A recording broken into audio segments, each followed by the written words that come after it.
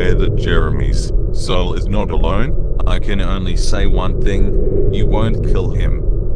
A nightmare goes according to his plan to destroy the world's called FNIA. There is only an exception if the original FNAF. Such an older name will agree to leave FNIA in the original then the animatronics will not suffer forever. The first animatronics were destroyed although they were harmless.